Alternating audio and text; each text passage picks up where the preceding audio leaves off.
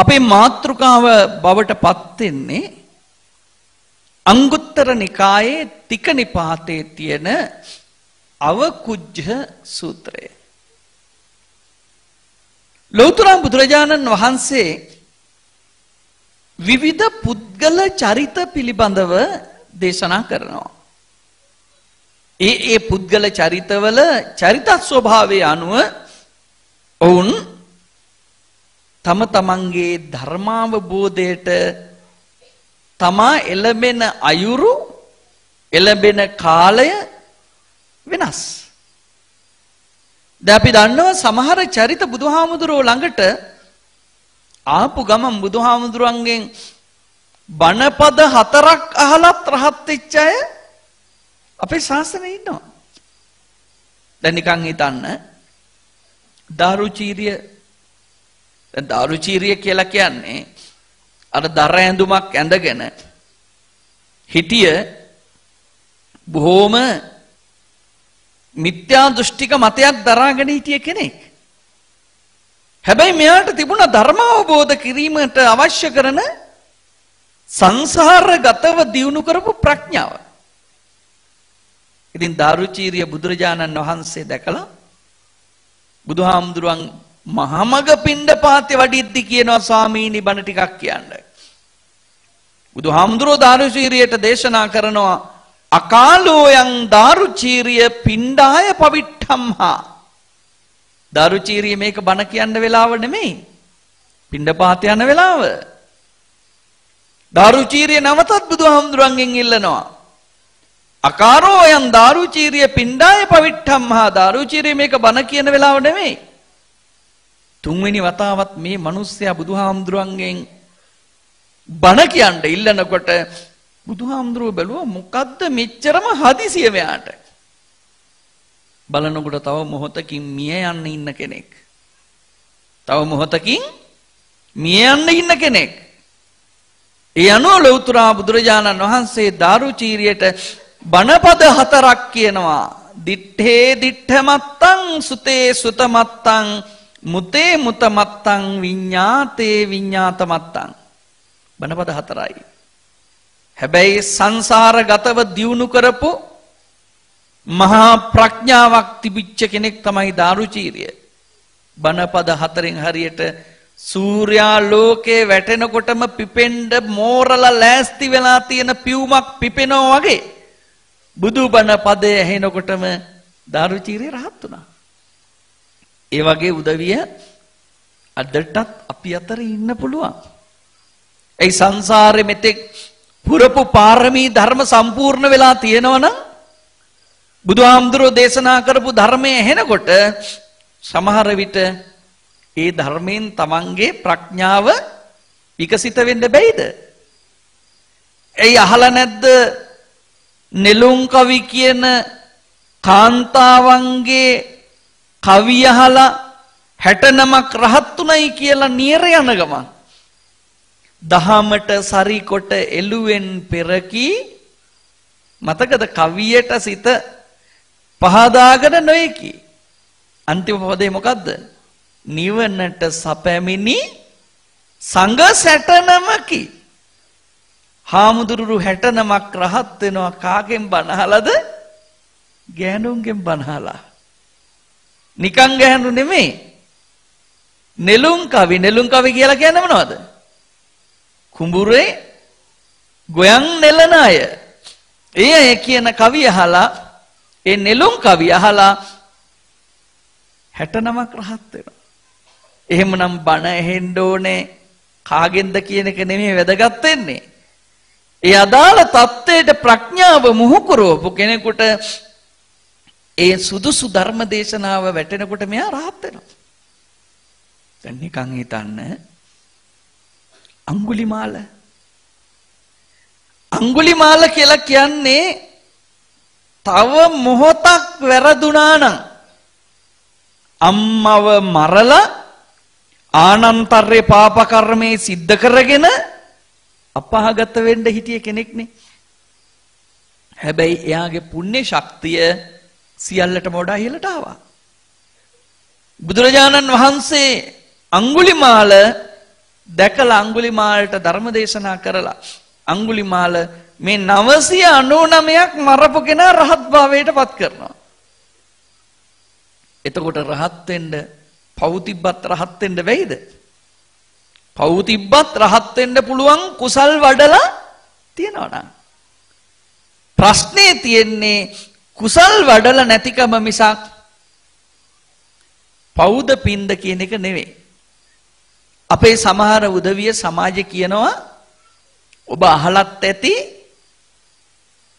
පින්පව් දෙකම නැති කරන්න ඕනලු නිවන් දකින්න. අහලා තියෙනවද එහෙම? පුඤ්ඤ පාප පහීනස්ස නත්ති ජාගරතෝ භයං කියලා දේශනාවේ තියෙනවා රහතන් වහන්සේ කෙනෙක් හඳුන්වන වචනයක්.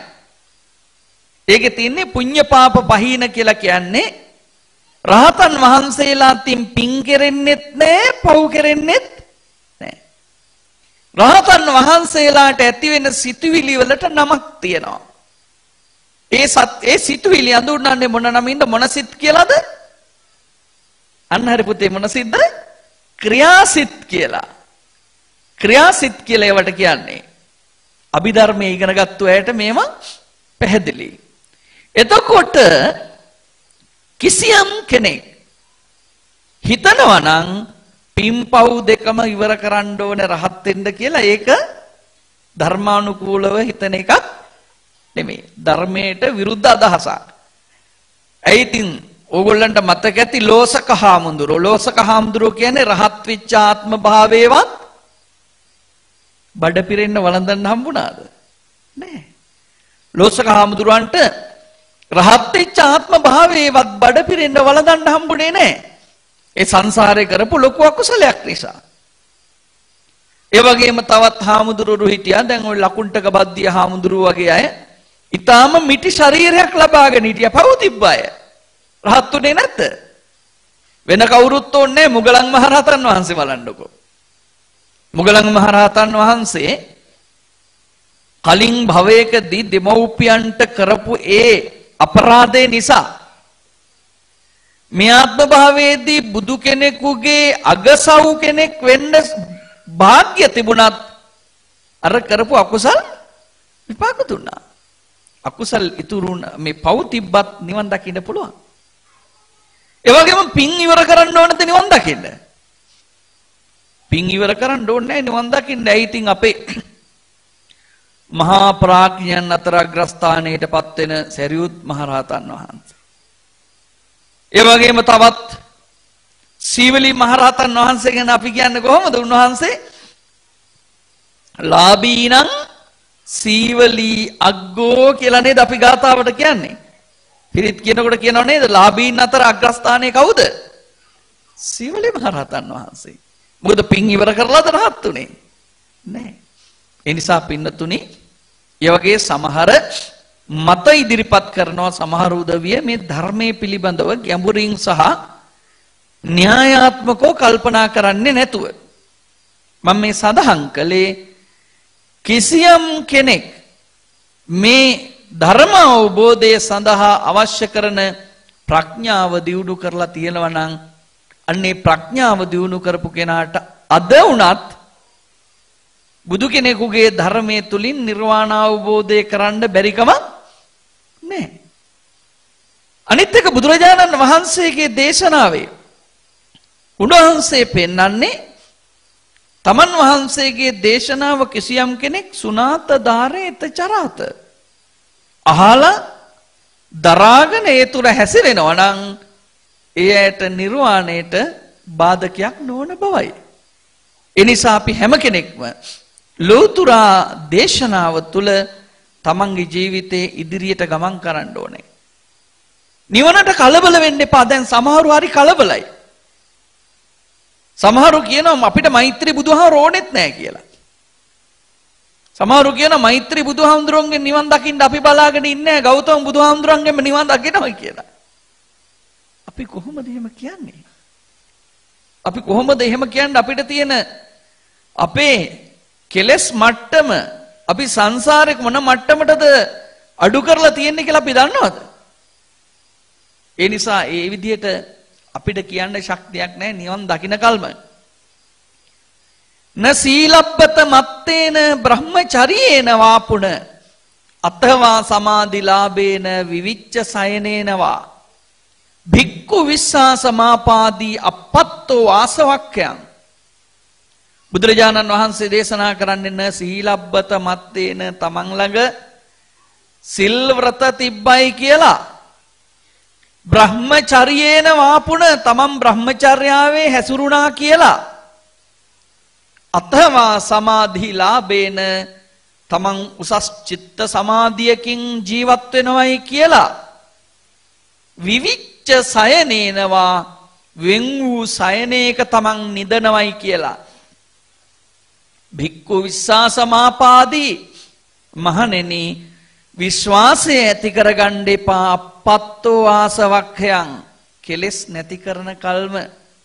මොකද කෙලෙස් නැති කරන කම්ම තමන් කෙලෙස් නැති කරපු කෙනෙක් කියන විශ්වාසය හදාගන්න එපා. මොකද හේතුව අරවා පිරිහෙන්න පුළුවන් සීලය පිරිහෙන්න පුළුවන් සමාධිය පිරිහෙන්න පුළුවන්. ඒ දේවල් වල පිරියාම එන්න පුළුවන්.